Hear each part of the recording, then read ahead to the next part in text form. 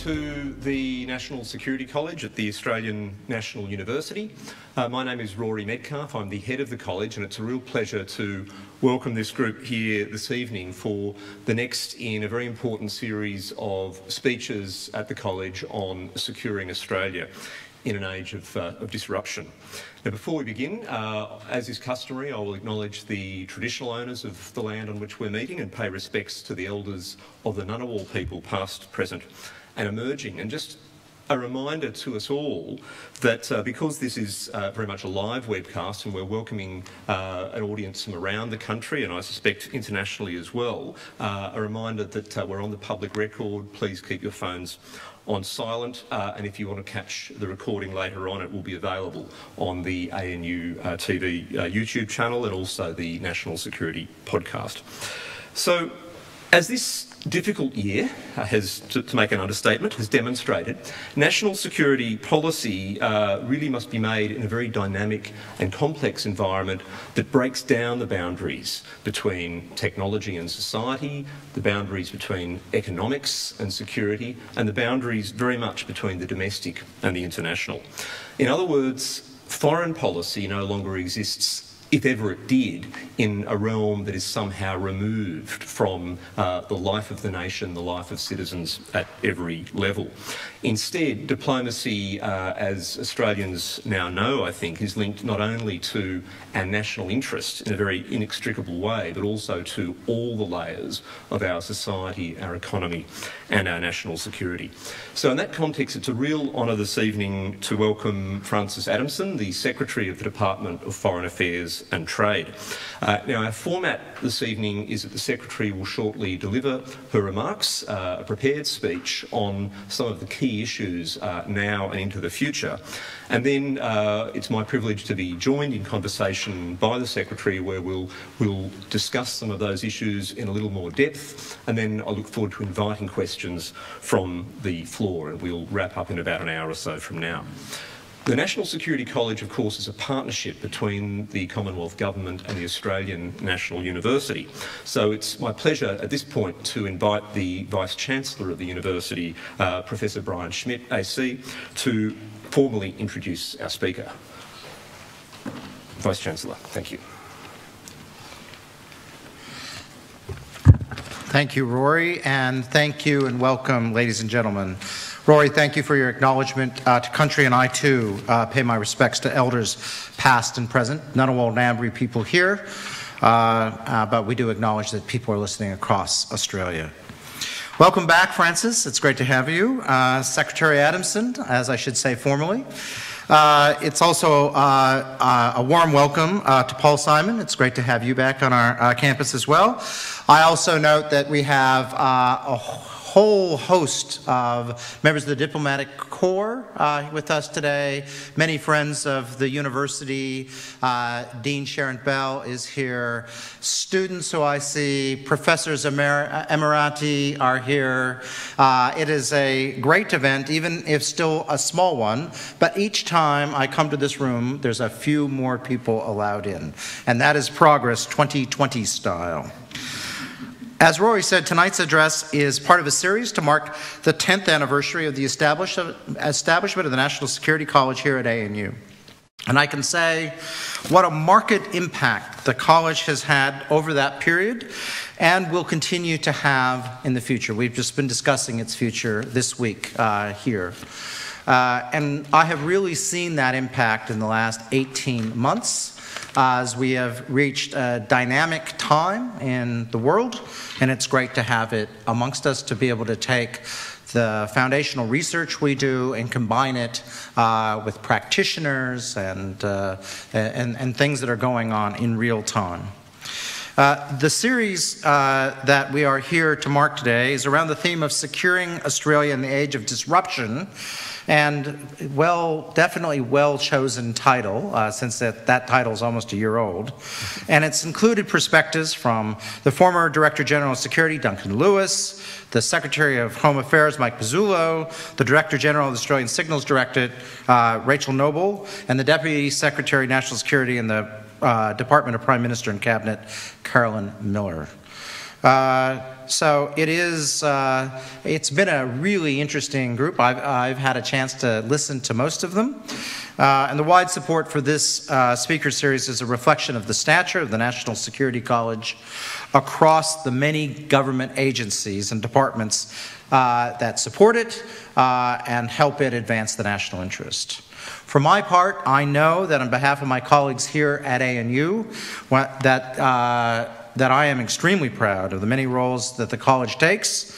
It takes it as a training ground for thousands of Australian government officials, as an academic center for research and policy oriented development, uh, and teaching that development uh, so that the next uh, generation of security thinkers are really caught up into modern thinking. It is a place uh, to serve as a platform for national debate about emerging security issues, and it is a trusted platform to connect the academic excellence of this university with government officials as they develop uh, new policy options for the challenges that await our nation.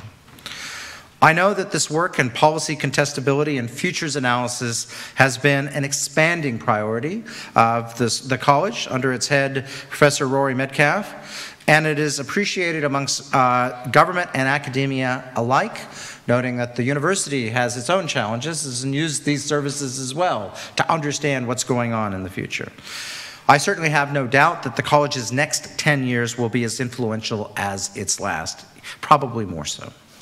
Tonight, we are delighted to be joined uh, by one of Australia's foremost policy thinkers, Frances Adamson, Secretary of the Department of Foreign Affairs and Trade. Welcome, Frances. Prior to her appointment as Secretary, Ms. Adamson was International Advisor to then Prime Minister, the Honorable Malcolm Turnbull. And from 2011 and 20 to 2015, uh, Frances was Ambassador to the People's Republic of China, and I had opportunity to meet you several times while you were there. She also sits as a member of the National Security College uh, Board. Secretary Adamson has continued to lead DFAT during one of its most challenging times for Australia, uh, and indeed what the world has faced, unprecedented in my lifetime. Despite the challenges this year has brought, Secretary Adamson has described the pandemic as an opportunity for the Australian Public Service to start again with a blank slate and transform the way it operates for the better. Definitely a glass half full type of person. This is not the first time Secretary Adamson has led through disruption. She was living in Taiwan during the SARS outbreak in 2003, so I guess you got well tuned up then. Uh, and Secretary Adamson, I thank you for making time to be with us here tonight. I am, as always, looking forward to hearing your observations on a critical and challenging uh, phase uh, as Australia deals with an ever changing and dynamic external environment. And I am sure you've had to tune your speech up just this week, given as the world is changing on a day to day basis. So, without further ado, I would like now to uh, invite Secretary Frances Adamson to give her address. Thank you, Frances.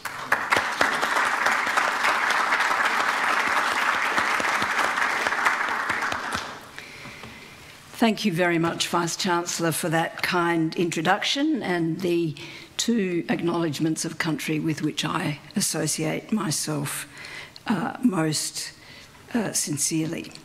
Professor Medcalf, ANU staff and students, members of the Diplomatic Corps, Your Excellencies, Australian Public Service colleagues, and I want to acknowledge particularly my colleague Paul Symon, uh, fellow leader in the DFAT portfolio. Friends, it's a pleasure to be here at the National Security College as part of your 10th anniversary lecture series. Already, in just a decade, this college has become part of Australia's national security firmament, training officials, influencing policy debates, facilitating dialogue, undertaking foundational research, leading us through futures thinking, and providing a platform for government leaders to explain security assessments and policies. Tonight, I want to talk a little bit about the nature of the strategic landscape in 2010 when the NSC was formed, rather more about how it looks in 2020, and then chance my arm. I assure you, Brian, this speech was up to date an hour ago when I finished it, uh, about how we might want when 2030 rolls around to look back on the decade between now and then. What will we need to have done to have advanced Australia's national interest? Over the past decade, we've seen a profound change in the nature, scale, and urgency of the nation's security challenges. In 2010, 9 11 and conflict in the Middle East still loomed large, consuming US attention. And the global economy was in shock following the global financial crisis. But international cooperation had rallied in response. The G20, after all, emerged and proved its mettle in a coordinated response to that financial crisis. There appeared to be little serious argument between governments that open trade, integrated economies, and global institutions made sense and delivered the best outcomes for their people. US global leadership was seen as self evidently in that country's interests and without serious challenge, even as its relative economic and military power was inevitably declining as Asia grew in dynamism and strength. China, in particular, was transforming the global economy. Having joined the World Trade Organization in 2001, China was a player, one of many, working within the international system. Cyber was an issue, but compared with today, its complexity, pervasiveness, and pace of change were of a lesser order. Social media was changing the way people communicated and exchanged ideas, but its influence on national and international debates was still embryonic, and social media's use as a tool of mass disinformation was still largely theoretical. A decade on, much has changed. Many of 2010's foreign policy and security challenges are still with us, not least terrorism. But in 2010, the trend of disruption inherent in globalisation and technological development was not yet apparent. It was still to reshape the foreign and trade policies of many of Australia's most important partners, such as the United States and the European Union. We're now facing a much more complex strategic landscape where these challenges are multi layered, evolving at a faster pace, and their impacts are felt more quickly and directly. These are also tests of governance. Recent years have taught us that all democracies must closely examine and vigilantly guard the resilience and robustness of their institutions. What has been clear most sharply throughout the COVID 19 pandemic is the increasingly inextricable nature of domestic and international policy and governance structures. Global crises like the pandemic and climate change are right in front of us, without yet the levels of global cooperation to match. Malicious cyber activity, disinformation, and foreign interference are increasingly confronting governments around the globe especially in countries like Australia, whose open economies and democratic system can be exploited by external actors. National economies, too, are being tested more now than they were in 2010. The COVID 19 pandemic has seen levels of joblessness and government debt rise dramatically around the world in 2020. We need to plot the path to recovery, even as foundational ideas about economic openness are being questioned, including to ensure adequate resilience to shocks.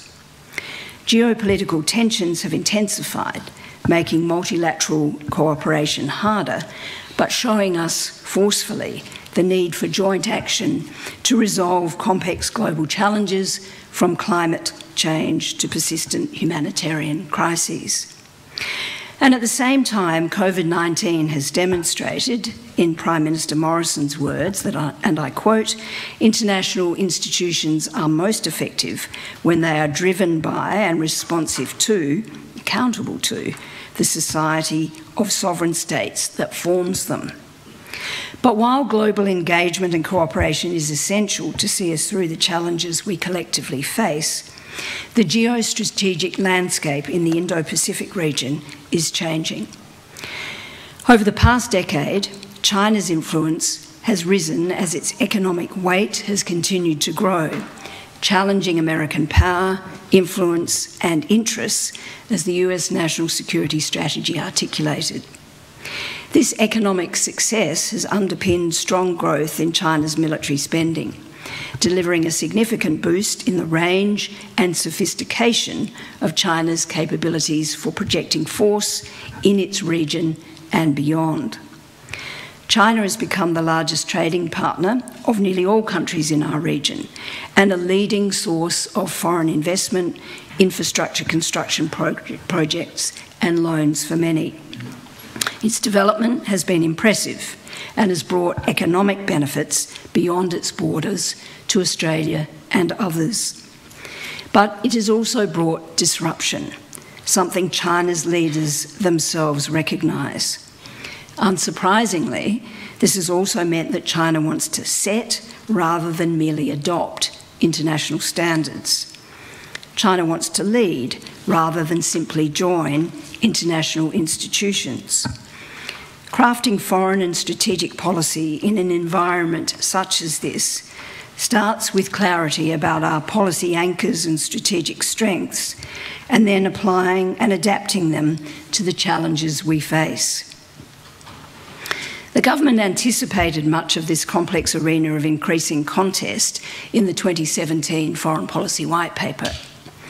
Aware of the rapid changes to Australia's external environment, the government needed to develop a framework under which we could, in a coherent, consistent way, advance Australia's national interests, built on our foundational values, such as our support for political, economic, and religious freedoms.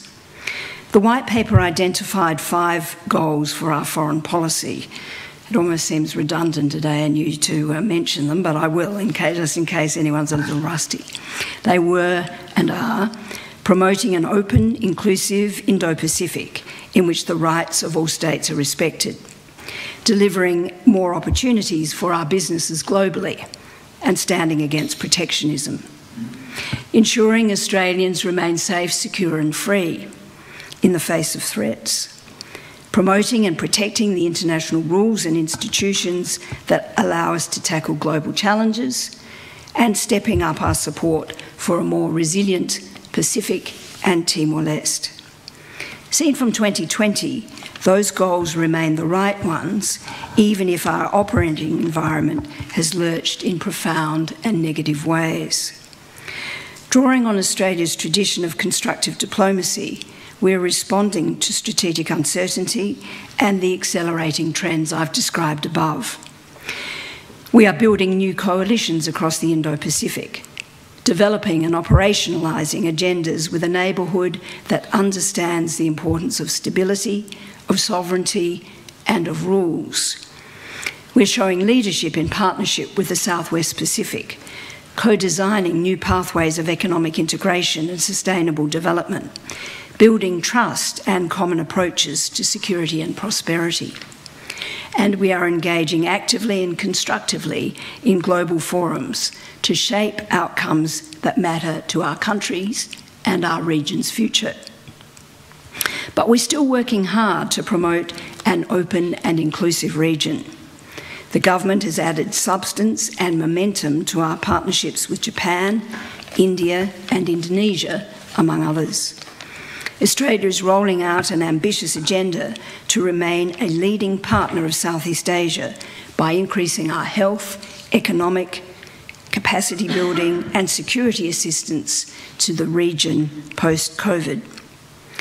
Our Partnerships for Recovery COVID 19 Development Response Program will include substantial investment in vaccine access and economic recovery, on top of our existing $1 billion a year development assistance to the region.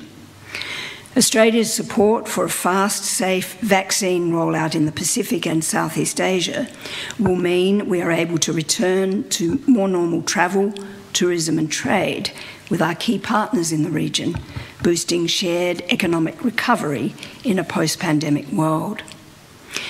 In the wake of COVID, our long term goal of supporting our businesses globally has morphed into the urgent task of supporting national and international economic recovery. The biggest news on that front was the signing of the world's largest ever trade deal the Regional Comprehensive Economic Partnership, RCEP, only last week.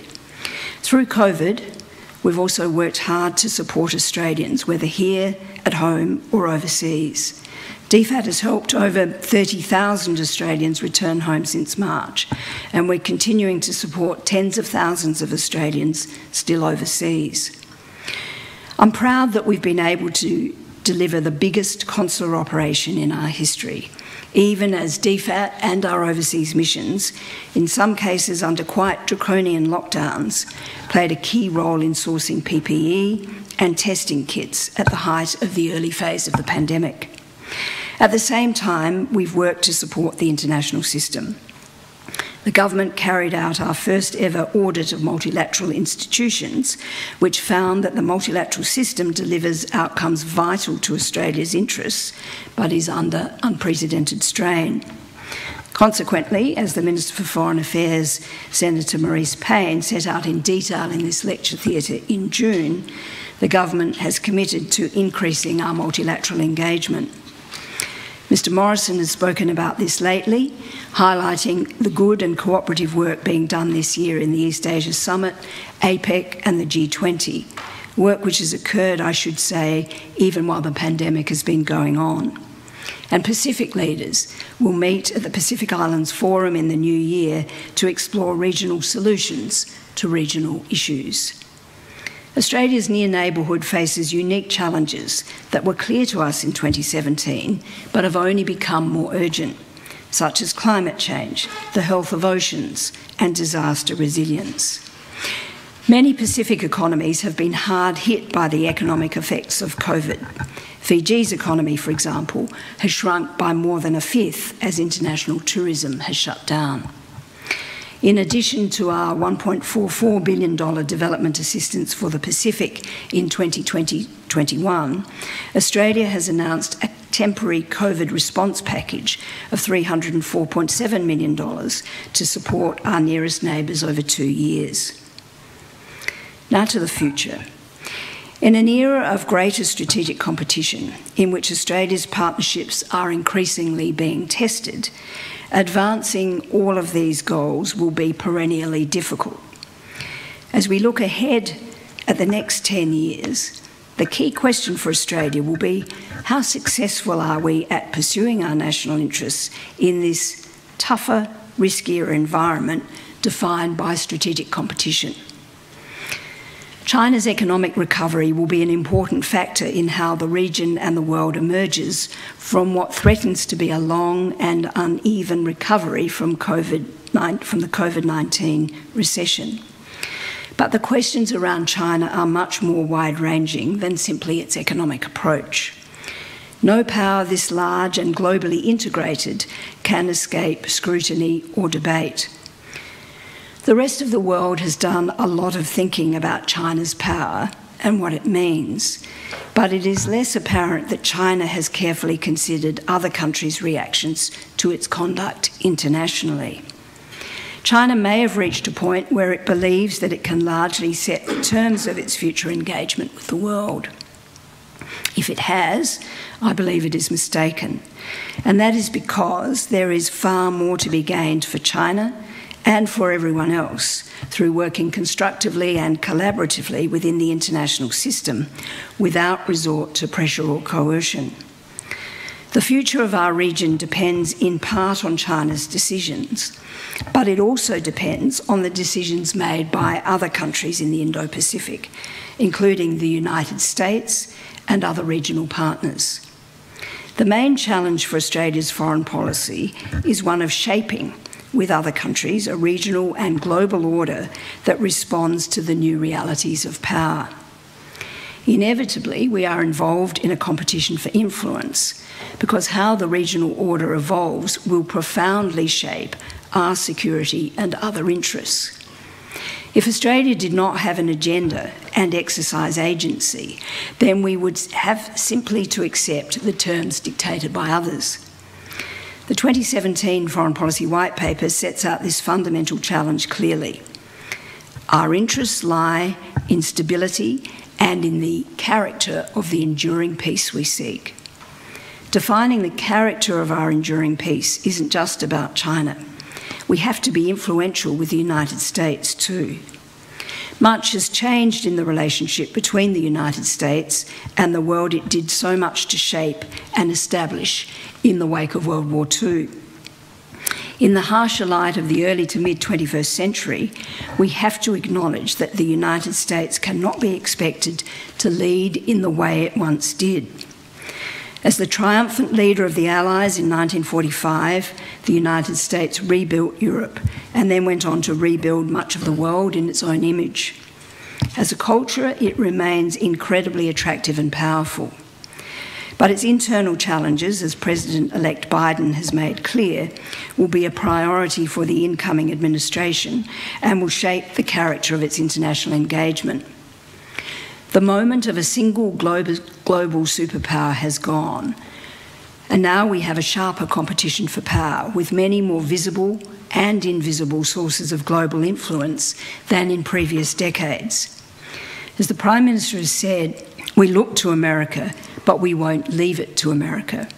More and more, the United States has to share power even as we understand that American power and purpose at home and abroad remain essential to the regional order we seek, the sort of multilateral system we need, and to reviving the global economy. Australia also needs to work hard to build the practice of cooperation among all nations.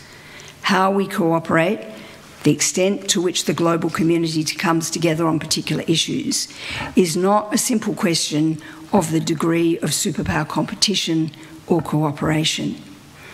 In a tougher strategic environment, different nations and groups of nations are already coming together in different ways, sometimes through existing institutions, sometimes minilaterally or plurilaterally. That underpins the rationale for Australia's engagement with the United States, Japan, and India through the quadrilateral dialogue, where each of the four partners sees the world in remarkably similar way and utilises their agency to shape the sort of region we desire. Against all odds, in the face of a global pandemic sucking in all attention, Multilateral and regional summits this year, like the East Asia Summit, APEC, and the G20, have delivered unexpected cooperation. Modest, certainly, but cooperation nonetheless. While a reasonable bookmaker might have concluded none of these forums was worth a wager in 2020, each has taken place and each has provided valuable opportunities for global engagement and cooperation and for giving voice to some important principles. The East Asia Summit, for example, underlined the continued importance of ASEAN and its outlook on the Indo Pacific, with a common appreciation that issues like the South China Sea and the rights of small states still matter, even as we grapple with a health and economic crisis. All of these summits have delivered clarion calls for equitable access to vaccines to underpin global economic recovery. Colleagues, much has changed in the security landscape that surrounds Australia in the past decade. If we want to look back on our time in another 10 years, in 2030, what will we need to have done as a country in order to be confident that we did all we could to advance Australia's national interest, even as our environment changes? First and foremost, we will have had to have pursued our own interests and acted with agency and purpose.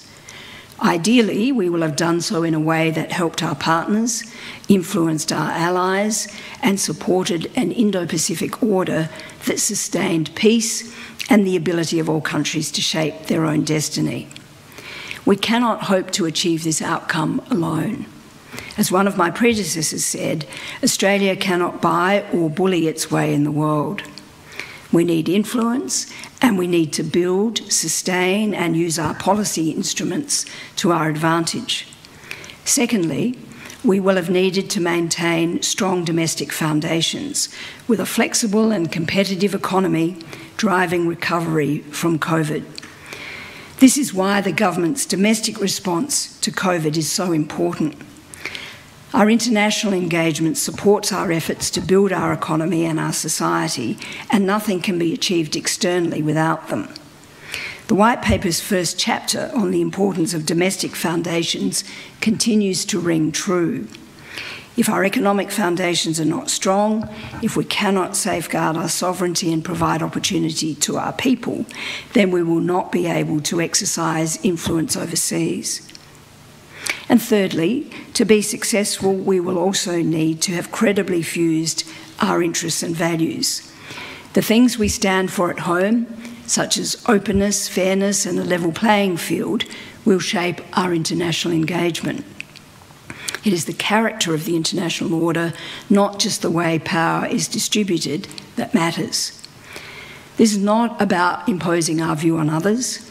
We know and understand that an era within which we felt comfortable has passed. But it is about building a system with the flexibility, resilience, and openness that supports economic growth and sustained peace for all countries in the Indo Pacific and globally. These are big challenges for Australia over the next 10 years, which I'm confident we'll be able to tackle together with our global partners and trusted partners at home, including, of course, the National Security College. Thank you.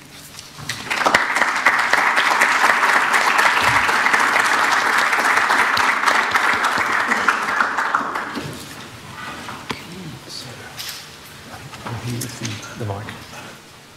Oh, she's here. I'm sorry.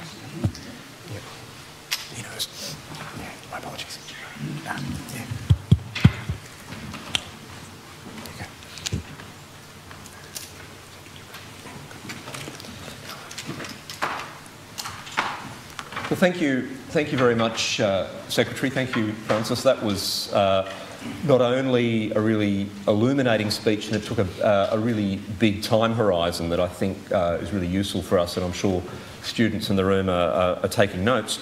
Uh, you, you, you chance your hand at the future as well as the past and the present.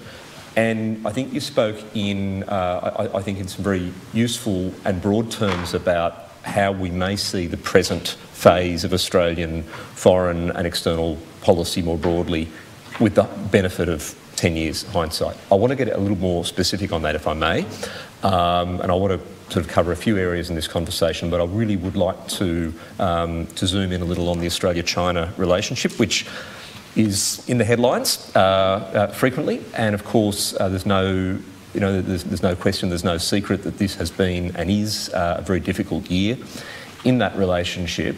Uh, looking from your vantage point that you've projected 10 years in the future, looking back at 2020, look at, looking at the policy settings, the decisions, the way in which Australia is handling the, however you define it, the, the pressure, the leverage that China uh, has been exerting on us.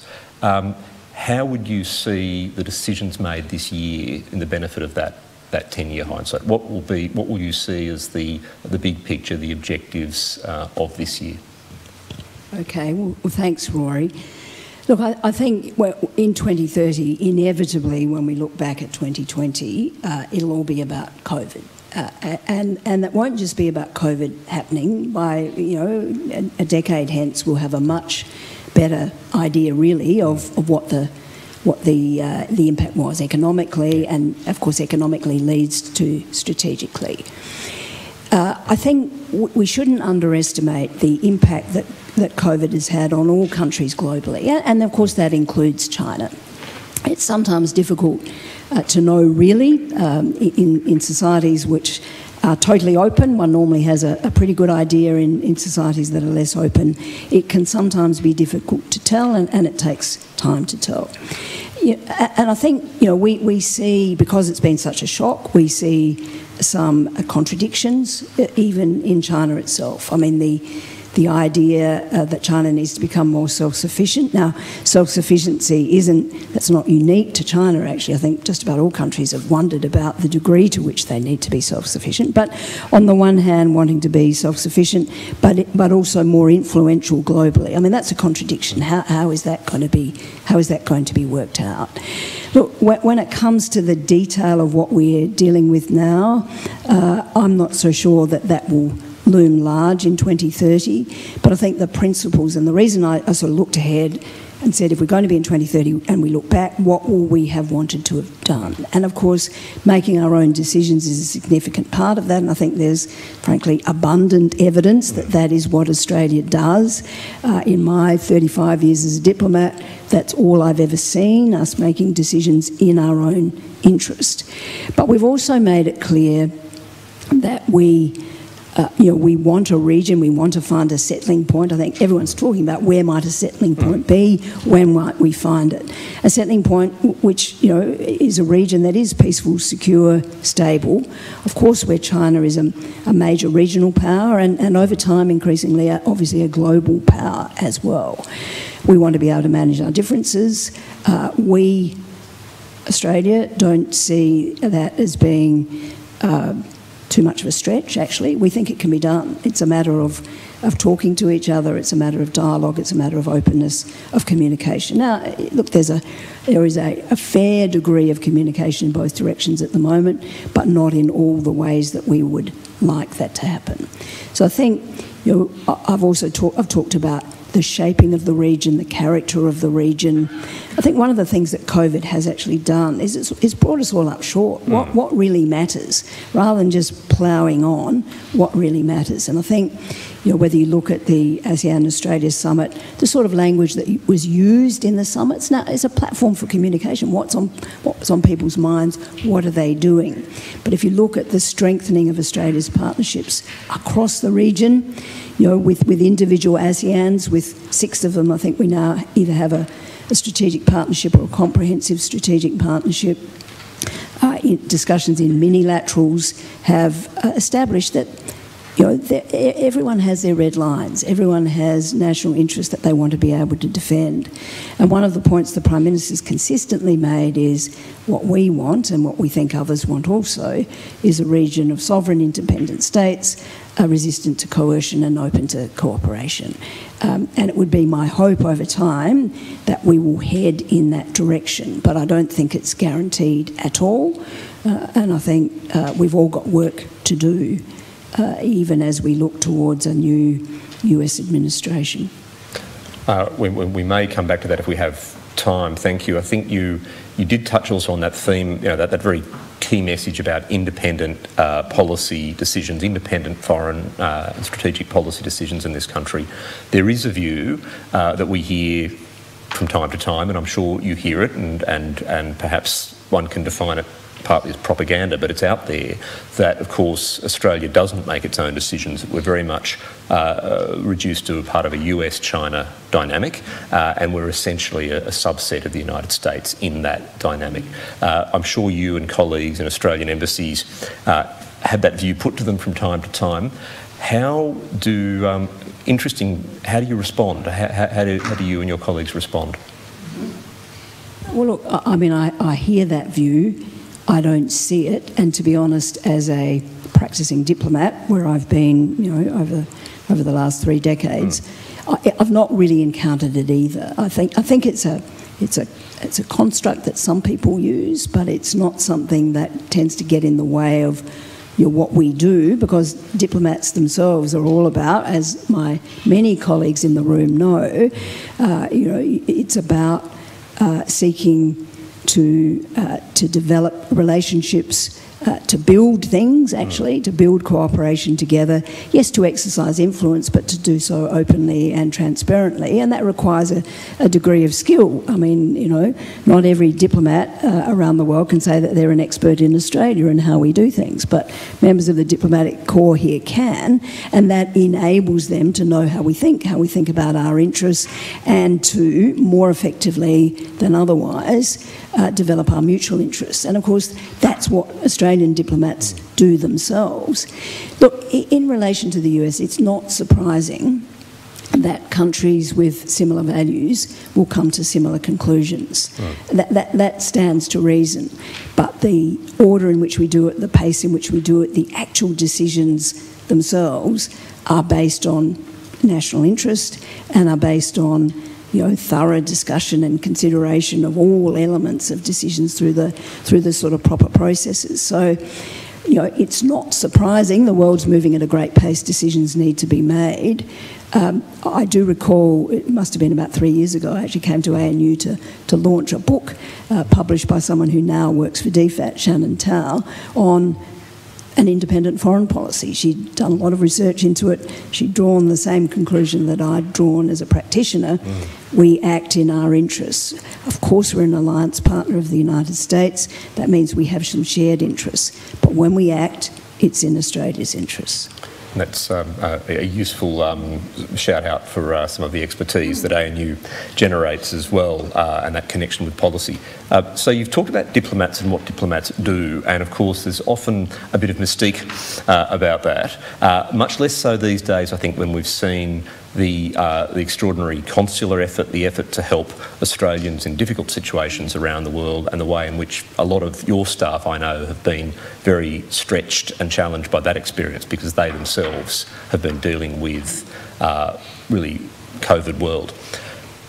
Uh, I don't necessarily want to put a question to you about that. You're welcome to, to, to, to, address that, but it has been addressed in the past. But there are other sides to a diplomat's job, and I wonder in this in this environment where Australia is trying to achieve the, the long term strategic effects, the shaping effect that you talk about in your remarks, that involves needing to obviously understand our region, understand uh, the dynamics in the world, anticipate and understand how other countries are perceiving and responding to our policy positions. Can you shed some light on that side of the work that happens in your department?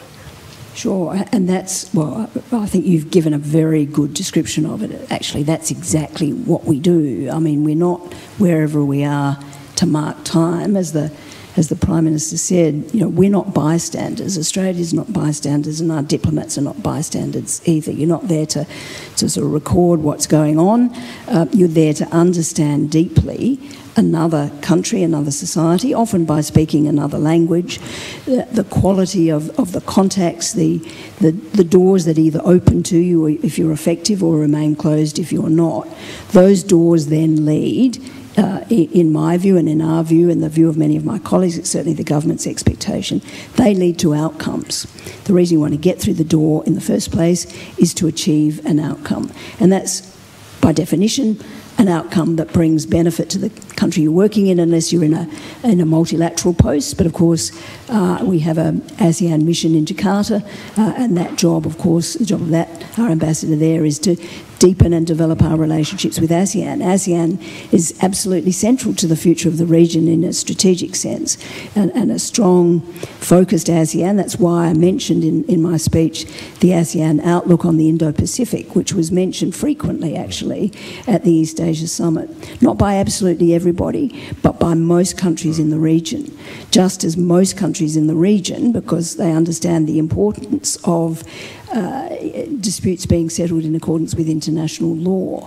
So we work to obviously to encourage these things. Mm. You can't simply say international law is important. You've got to be willing to uphold it. You've got to be willing to call out breaches. You've got to be willing to help to uh, develop solutions, to actually engage in processes yourselves, mm. to, to, to subject yourself to processes as we did in the, the um, boundary conciliation process with, with Timor-Leste. Uh, but it's also about being ambitious for the relationship. And, you know, it, really it's leaders who drive that ambition. It's prime ministers and presidents who recognise that the interests of their country are going to be best served by deepening a relationship with Australia's case, India, with Indonesia, with Japan. Why do, why do they do that? Why does the Prime Minister travel to Tokyo in the middle of a pandemic? Why does he do a virtual summit with India in the middle of a pandemic? Uh, why do why, why do diplomats do what they do to prepare? It's because our national interests are best advanced through that way, and in particular, uh, at a time of great challenge in the region, there is a sense of solidarity, a sense of uh, shared, I suppose, burden sharing, a sense of uh, helping to create rules and norms that will serve us well in the future. And if you're just going to be a bystander, then it'll all just happen around you. Australia's not a bystander, we're an active participant. We want to shape a region in the interests of all countries in the Indo Pacific, but particularly, of course, Australia. So you've mentioned COVID. How much harder has the COVID-19 environment made that kind of work, that kind of day-to-day diplomacy, at understanding and responding and shaping to, uh, to our region? Well, on, on, the one hand, and in a very functional way, of yeah. course, it's made it harder. Communicating is harder. But on the other hand, we have kept all 112 of our overseas missions operational during this period. So we've had people on the ground, they may have been in quarantine, they may have been ill themselves, but they have been communicating, and if you're an ambassador, that means you're communicating at very senior levels normally uh, with the government that you're uh, accredited to, or the country that you're accredited to. So because we've been there, because we've been good partners, and you know, it's got to be a sort of certain level of modesty about this, mm. but we get very, we've had very positive feedback during this period from our partners in the South Pacific, many of whom have completely closed off mm. their countries, many of whom have relied on us to, uh, to help them with PPE, to help them with uh, building the capability that they need. They've all got health systems, but they've needed our capability when it comes to epidemiology, when it comes to, to dealing with, with COVID. Uh, so we've actually, and we've established humanitarian corridors. We've done a whole range of really practical things. You know, whether you call it a COVID pivot, whether you call it mm. partnerships for recovery, we've been there, we've been fast, we've been responsive, we've been working working hand in hand. And we've been doing that across Southeast Asia as well. And that's, it was very heartening that ASEAN has agreed that from next year we'll have an annual ASEAN Australia Summit. Mm. It's why the government, even in a, a, a fiscal environment such as the one that we're in, has agreed to, you know, half a billion dollars worth of uh, of funding for vaccines across the South Pacific and Southeast Asia to very substantial funding as outlined for economic recovery in the Pacific, for funding that will uh, help support development in the Mekong region, uh, that will uh, go towards infrastructure that will enable us to deepen our defence cooperation. They're all very practical things and hugely appreciated. I mean, a $1.5 billion loan for Indonesia, you know, working across the region about what they need and how we can respond. And I think so, although it's difficult mm. at the beginning in practical terms, in reality, I think we've made enormous progress on a whole range of things that, that matter. A lot of it's been quiet and unsung. We've done an enormous amount of policy development for government, and on the ground, the doors are opening, the outcomes are being produced, the strategic effect is being further developed. Thank you. I know that several, uh, or probably many in the room, will have their own questions, which I'll turn to in a moment. I want to ask you one last question before I go to the uh, the wider audience, and that is to pivot a little bit to uh, to talking about you rather than uh, Australia's national interest, if I may, uh, because one of the one of the things we like to do in these conversations is to look, uh, I guess, at, at, at, one's career and at the the way in which you've achieved a kind of a staying power in your career, your advice to the next generation, uh, whether it's about work-life balance, which I know in a role like yours is, uh, is, pretty special, I guess, uh, whether it's about that longer perspective. So, there any, is there anything you can share, uh, I guess, as advice to uh, people pursuing careers in this space? Look, uh, it, it is a bit of a pivot to think about that, but uh, there are a couple of things I'd say that, that might serve as, as useful pieces of advice. Uh, I can think of three occasions this year. I mean, they were, they were brief moments rather than, you know, uh, hours versus days where I felt I've hit the buffers. I felt I've got no more to give, and yet the demands are are so great. And what do you do then? Well, you've got to have a voice inside your head. You've got to be a bit sort of objective.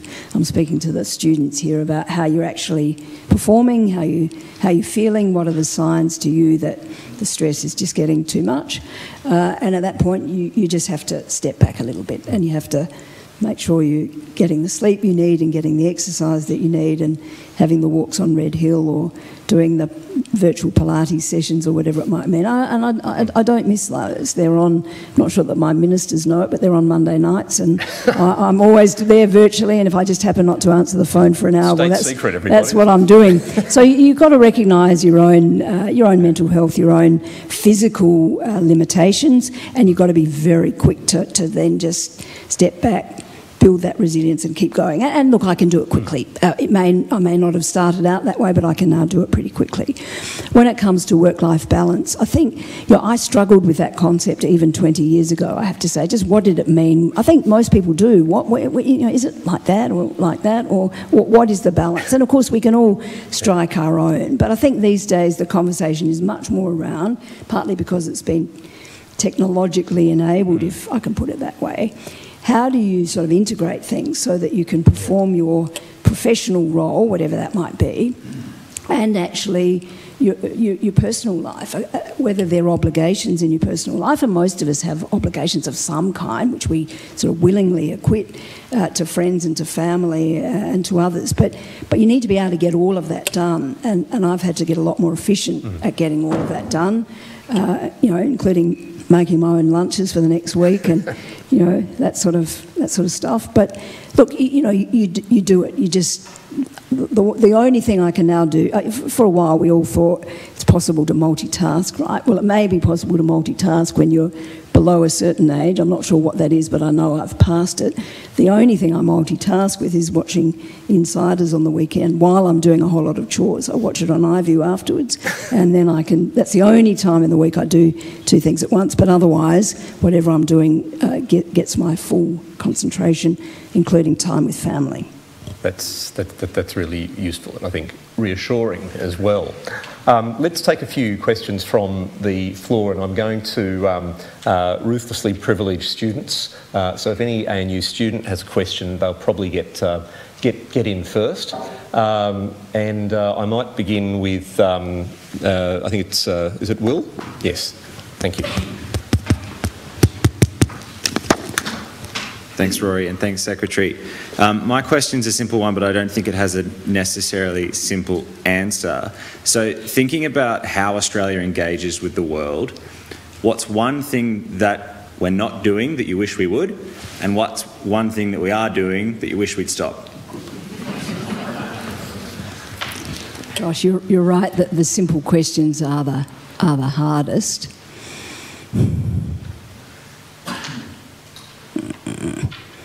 You can tell that I'm not getting these questions in advance. I can, can load up more questions. I, I, can load up more questions as you well, think through that one, if you'd like. Well, look, uh, I mean, of course, uh, your question uh, sort of implies, in a way, that that we that we're not very agile or, or nimble. That we're not sort of.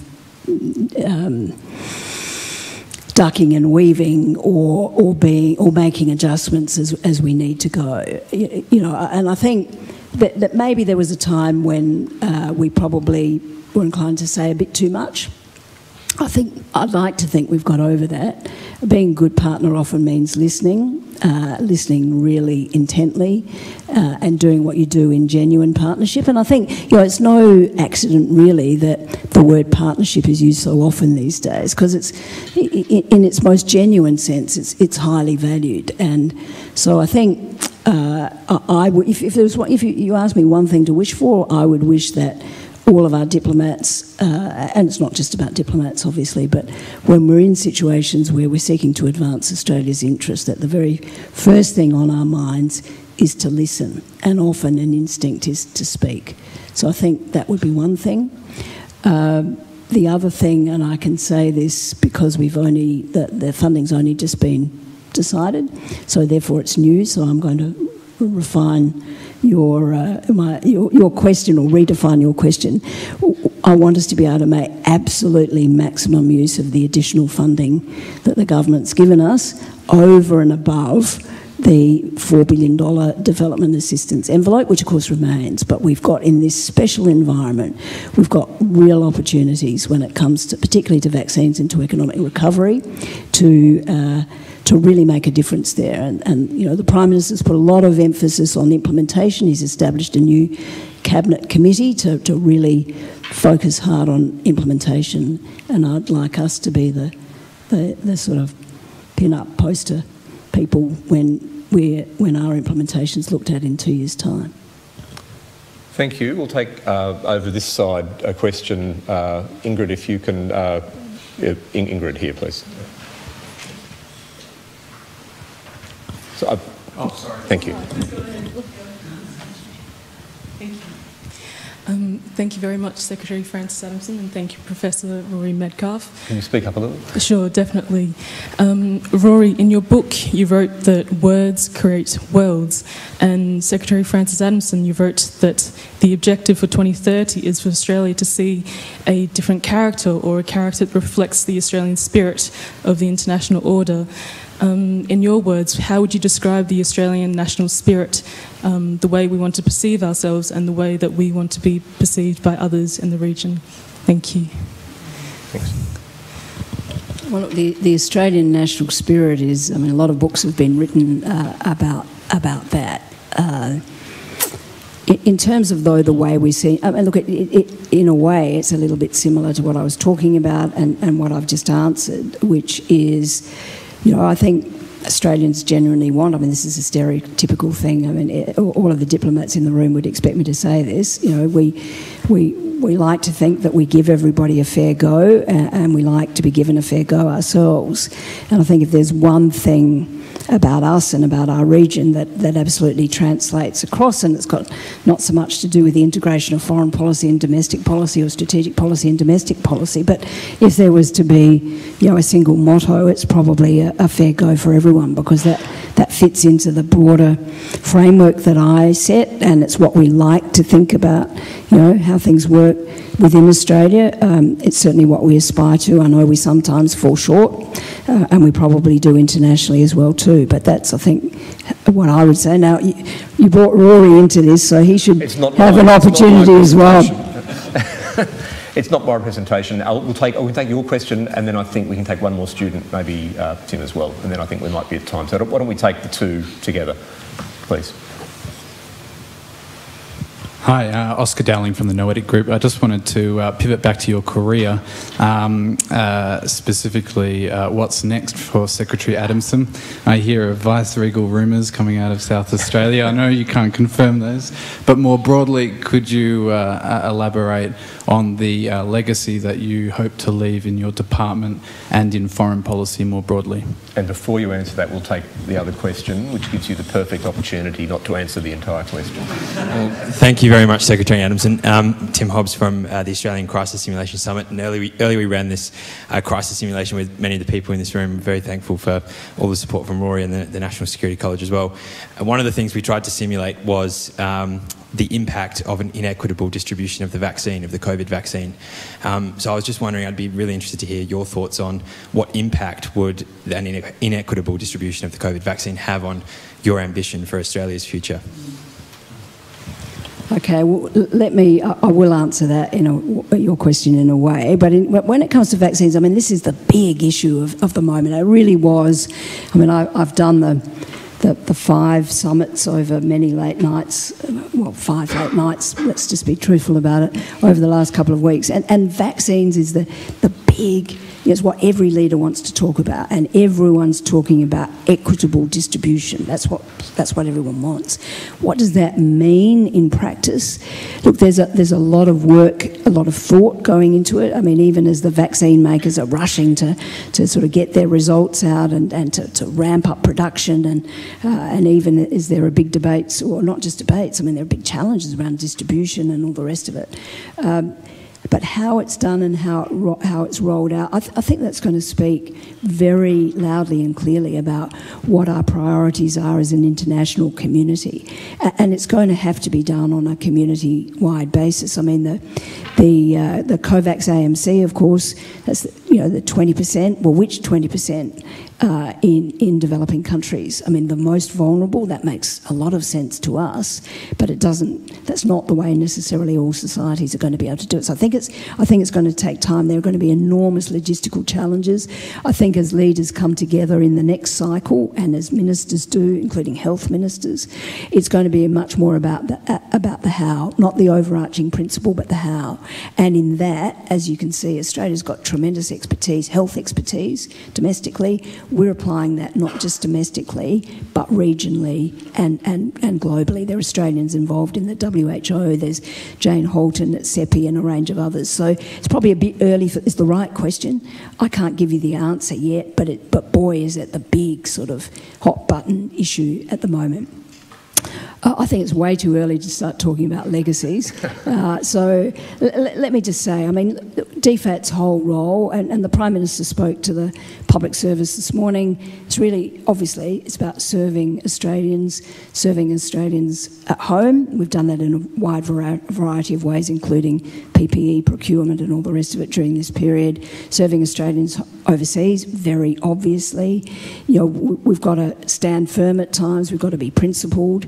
I actually think, uh, and I've made a, a, thing of it over the last four and a bit years, uh, we need to be representative of, of the diversity of Australia.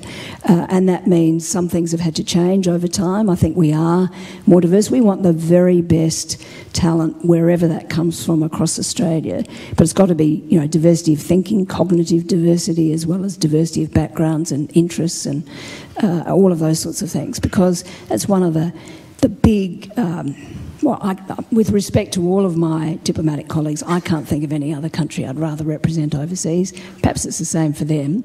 We won't ask them, but for me, it's all got to be. It's got to be about serving Australia, and we've got to do that to the best of our ability. We've got to do it authentically. We've got to be able to deliver on our promises, implement uh, what we do, and we've got to have an eye to strategy, the broader strategy, the broader challenge of shaping a region. We don't actually really know what it'll look like in 2030, but by the time 2030 comes around, I want to be able to look back and say, we did our best, and I had a, a part to play in that.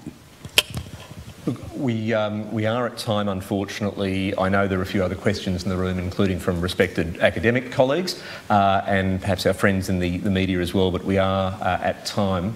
Um, I want to uh, personally thank you, Frances, for being uh, not only for the recruitment advertisement for um, uh, the next generation of young Australian, or maybe not so young Australian diplomats, uh, but also I think for really being so frank uh, about uh, about the, the challenges and the opportunities for Australia and the work that you and the department do. So. With that, I might ask the, um, the audience to join me in, in thanking Secretary Frances Adamson.